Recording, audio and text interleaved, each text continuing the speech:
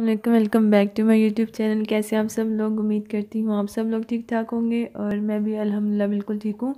तो आज मैं वीडियो को स्टार्ट कर रही हूँ नाश्ते से। नाश्ते के लिए मैंने बनाया था ऑमलेट।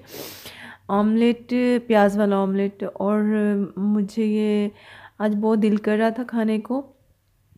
तो मैंने बनाया इसको। पहले मैं प्याज कट कर रही हूँ। इसको बारीक बारीक मुझे अच्छा लगता है। फिर उसके बाद इसके अंदर मसाले वगैरह डाले और डाल के फिर मैंने इसको फ्राई किया। कुछ लोग ऐसा करते हैं कि अंडे और प्याज मिक्स कर लेते हैं, लेकिन मैं थोड़ा सा उसको सौते करती हूँ प्याज को फ्राई पैन के ऊपर या पैन के ऊपर। फिर उसके बाद अंडे जो है वो मैं ऐड करती हूँ। तो ये मेरा तरीका है तो मैं इस तरीके से अपना जो आमलेट है वो बनाती हूँ। तो बस यहाँ पे थोड़ा थोड़ा सौते करके उसके बाद अंडे ऐड कर दूँगी।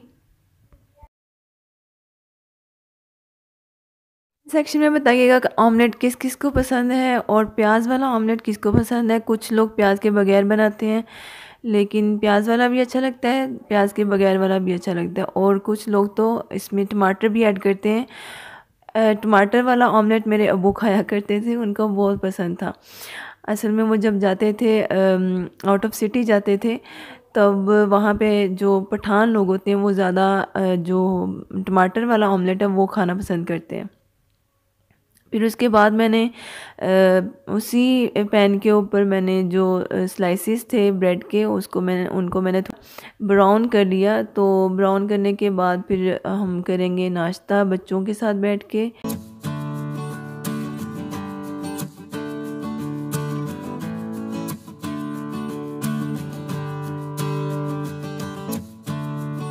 और साथ ही मैंने चाय का जो अपना बर्तन है, वो भी चढ़ा दिया था चूल्हे पे और मुझे नाश्ते में चाय ज़रूरी चाहिए होती है। अगर मैं नहीं पीती हूँ तो सारा दिन मेरे सर में दर्द रहता है और वो दर्द फिर ऐसा ऐसा बढ़ता है। कम होने का नाम नहीं लेता, इसलिए मैं चाय में और सॉरी नाश्ते में चाय ज़रूर लेती हूँ। दिन में मेरा एक ही कप होता है।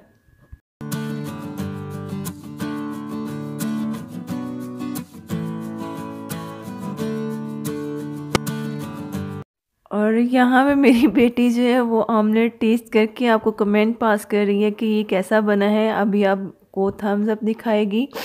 तो मैं, जब ये वीडियो एडिट करी तो मुझे बहुत हँसी आई।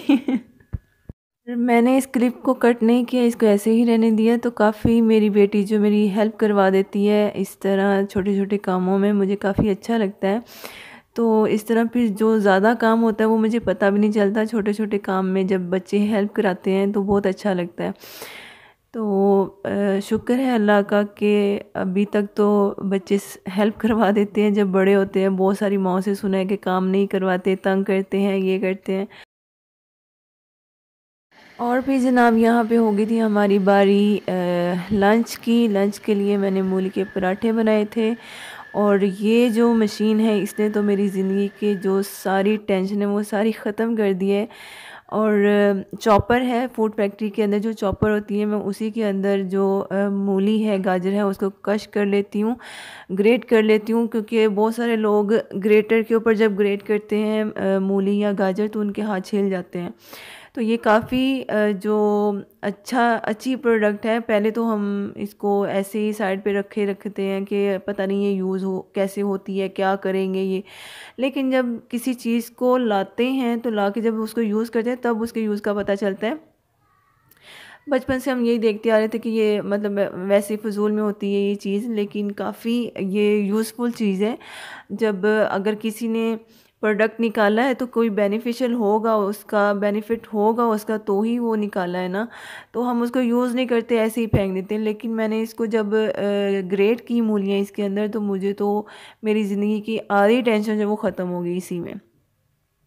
तो यहाँ पे जो रेसिपी है मैंने आ, उसके लिए सबसे पहले जो मूलियाँ थी उनको मैंने नमक निकाल लगा के उनका पानी निकाल लिया। तकरीबन दो टू के जी मूलियाँ थी। उनको, उनके अंदर मैं जो मसाले डाल रही हूँ, वो है लाल मिर्च का दो चम्मच मैंने डाले थे और नमक का तकरीबन नमक नहीं डाला था क्योंकि नमक मैंने लगा के पानी निकाल लिया था ना, निचोड़ लिया था उसका मूलियों का पानी तो इसलिए फिर मैं बाद में नमक नहीं डालती।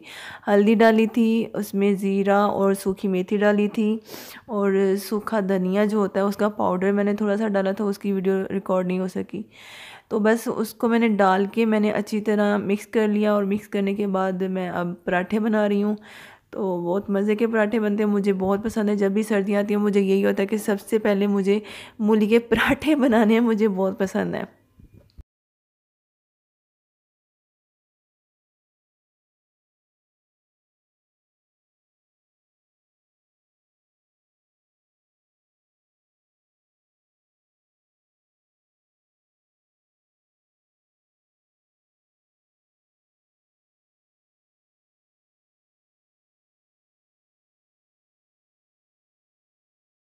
तो जनाब, यही थी आज की मेरी छोटी सी वीडियो। उम्मीद करती हूँ आपको मेरी ये वीडियो पसंद आई होगी, और अगर पसंद आई है तो मेरी वीडियो को लाइक, शेयर और मेरे चैनल को सब्सक्राइब करना है।